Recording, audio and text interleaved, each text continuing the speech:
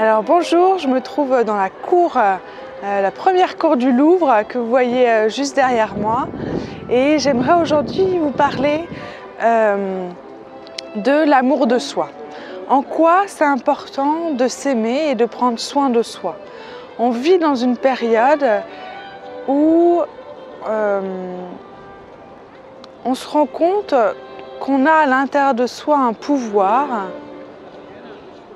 qui est de créer des choses à travers nos pensées, à travers nos paroles ou même à travers nos actions.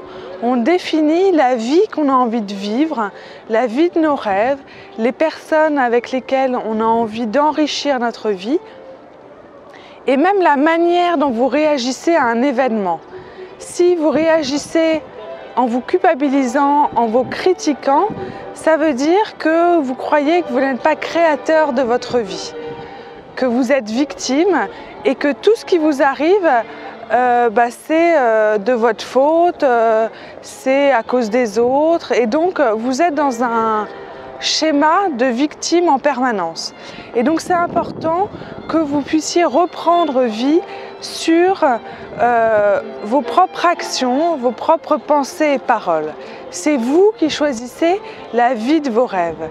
C'est vous qui définissez qu'est-ce que vous avez envie de penser, qu'est-ce que vous avez envie de dire ou qu'est-ce que vous avez envie de faire dans votre vie. Alors peut-être qu'aujourd'hui, euh, vous ne vivez pas la vie de vos rêves et que euh, vous avez envie de vivre et de faire un métier qui va demander beaucoup d'études, beaucoup d'efforts, etc. Mais au moins commencez aujourd'hui à définir qu'est-ce que vous avez envie de vivre, quel est le projet qui vous tient à cœur aujourd'hui. Alors j'espère que vous m'entendez, il y a un peu de vent. Euh, mais en tout cas, voilà. Et ensuite, c'est comment vous pouvez transformer ce rêve en état d'être. Votre âme, elle a accès à toutes les expériences dont elle a envie. Mais sur Terre, avec la matière, elle a beaucoup plus de difficultés. Et c'est vraiment grâce à votre esprit et à votre corps qu'elle peut euh, faire l'expérience de qui elle est, de choisir l'expérience qu'elle a envie d'attirer à elle euh, pour vivre le bonheur, pour vivre la paix intérieure, euh, pour vivre le lâcher-prise. Tous ces états intérieurs, c'est vraiment votre âme a envie de vivre et d'en faire l'expérience. Et donc elle va peut-être vous amener euh, des événements qui vont euh, vous paraître euh, violents, qui vont vous paraître agités, pour que vous sachiez qu'à l'intérieur de vous, vous avez cette paix intérieure. Ça sert à rien en fait d'être paisible si tout est paisible autour de vous. Vous ne pouvez pas savoir que vous êtes en paix. Alors que s'il y a de la violence, s'il y a beaucoup d'événements qui vont vous perturber, c'est à ce moment-là que vous allez avoir le courage, euh, que vous allez vous diriger pour pouvoir vivre la paix intérieure. Qu'est-ce que je peux faire aujourd'hui pour être plus en paix? Est-ce que je vais me balader dans la nature? Est-ce que euh, je vais aller prendre soin de moi et visiter un musée? Euh, Est-ce que je vais méditer, appeler un ami? Et donc là, vous êtes dans l'action.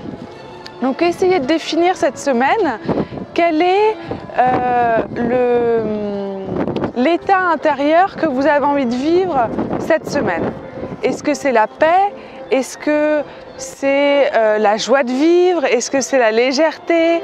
Euh, Est-ce que ça peut être le lâcher prise Lâcher sur ce qui n'est pas essentiel dans votre vie. Et après que vous ayez choisi cet état intérieur, vous notez au moins 10 actions, au moins 10 actions que vous pouvez réaliser cette semaine pour pouvoir vivre cet état intérieur. Et après, il y a beaucoup d'étapes euh, dans la co-création qui est important, mais déjà dans la loi d'attraction, le plus important, c'est pas d'avoir une voiture, c'est pas d'avoir une maison, de faire un beau voyage. C'est quelque chose qui est extra et on est sur Terre aussi pour prendre du plaisir à vivre. Mais ce qui est important, c'est au niveau de votre âme. Qu'est-ce que vous avez envie de vivre? Est-ce que vous avez envie d'être joyeux? Peu importe les événements qui, euh, qui vous arrivent, est-ce que vous avez envie de vivre la légèreté? Pour moi, la légèreté, c'est quelque chose qui est très très important, euh, même si euh, je travaille voilà, dans la spiritualité, même si je vois des choses que d'autres personnes ne voient pas, comme bah, des morts, euh, des... je vais être sensible voilà, à des clients ou même à des amis qui ont envie de mourir. Je vais avoir une sensibilité qui fait que tout de suite, euh, je perçois des choses d'une manière beaucoup plus profonde. Et pour moi, c'est essentiel d'être légère, d'avoir cette légèreté de vie, prendre soin de moi, de me balader, de me faire du bien. Et je pense que c'est comme ça bah, que j'ai du plaisir à vivre sur Terre. Alors oui, je travaille, oui, je suis comme tout le monde, il faut que je paye mon loyer, mais plus je m'attacher à cette légèreté de vie, plus ma puissance va être importante et je vais pouvoir aider un maximum de personnes.